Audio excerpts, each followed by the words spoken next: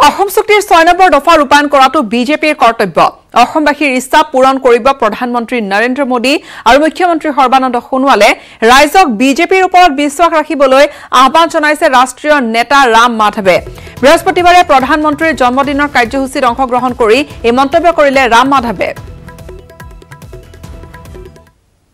मैं आपको वादा करता हूं जो एनआरसी को हमने पूरा किया था वो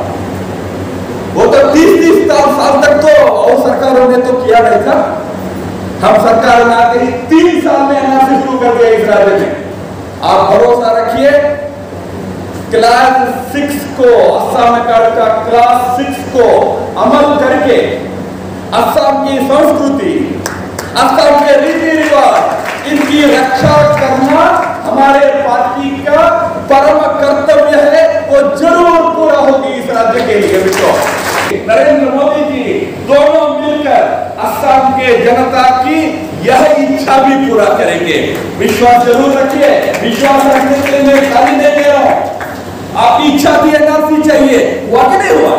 आपकी इच्छा है, क्लास सिक्स अमल हो वो भी ज़रूर संपन्न होगा, विश्वास रखिए। ছয় নম্বৰ দফাক লৈ ৰাজনীতি কৰিছে বিজেপিয়ে। অসম আৰু অসমীয়া অন্ধকাৰত ৰাখি ৰাজনীতি কৰিছে কেন্দ্ৰ আৰু ৰাজ্য চৰকাৰে। এই প্ৰতিক্ৰিয়া প্ৰকাশ কৰিছে বিৰোধী দলপতি দেৱব্ৰত শইকীয়াই। অসমীয়া গামোচাখন ডিঙিত ললে অসমীয়াক ভাল পোৱাটো নুবুজায় বুলি তেওঁ কৈছে। তেওঁলোকে আচল ৰূপটো অসমীয়াৰ আগত উদঙাই দিলে বুলি মন্তব্য দেৱব্ৰত শইকীয়াৰ। যোৱাকালি ৰাজ্যসভাত যেতিয়া এটা প্ৰশ্ন এই বিষয়টোলৈ উত্থাপন হ'ল। তেতিয়া অতি মানে এটা দায়হৰা মন্তব্য ভাৰত চৰকাৰৰ ফালৰ পৰা আহিলে যে অসম চৰকাৰে এই প্ৰতিবেদনখন অধ্যয়ন কৰি আছে। অসম চৰকাৰৰ অধ্যয়ন কৰিব লগা ইয়াত একো নাই। যিহেতু কেন্দ্ৰীয় প্ৰধানমন্ত্ৰী কেন্দ্ৰীয় গৃহমন্ত্ৰীয়ে সম্পূৰ্ণ দায়িত্ব সহকাৰে অসমবাসীৰ আগত আশ্বাস দি গৈছিল যে অসম চুক্তি ছয় নং দফা সম্পৰ্কীয় প্ৰতিবেদন আমি পোৱাৰ লগে লগে আমি ইয়াক কাৰ্যকৰী কৰিম দাড়ি কমা সাল সলনি। সালসলনি নকৰাকে কাৰ্যকৰী কৰে তেনে ক্ষেত্ৰত এতিয়া কেন্দ্ৰ চৰকাৰ আৰু অসম চৰকাৰৰ মূৰ কুলুকা মৰা যিটো এতিয়া স্বৰূপ এই স্বৰূপটো অতি লজ্জাজনকভাৱে যোৱাকালি সকলোৰে আগত উদঙাই দিয়া হ'ল আৰু মই এতিয়া অসম চৰকাৰক ক'ব বিচাৰো যে যিহেতু তেওঁলোকে এতিয়াও প্ৰতিবেদনখন পঠাই দিয়া নাই অনুগ্ৰহ কৰি দিল্লীলৈ পঠাই দিয়ক। তেখেতসকলৰ প্ৰকৃততে কোনো কৰ্তৃত্ব নাই এইখন এনেধৰণে ৰাখি থোৱাৰ। ব্ৰেকিং খবৰ N S C N I এমৰ সেনা প্ৰধানৰ ফেচবুক একাউণ্ট হেক হৈছে।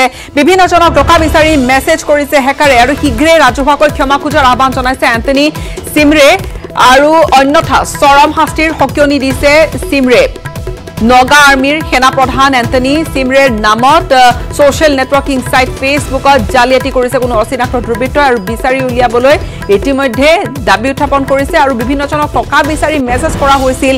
এই একাউণ্টটোৰ পৰা হেকাৰে হেক কৰিছে আৰু মেছেজ কৰিছে বিভিন্নজনলৈ টকা বিচাৰি।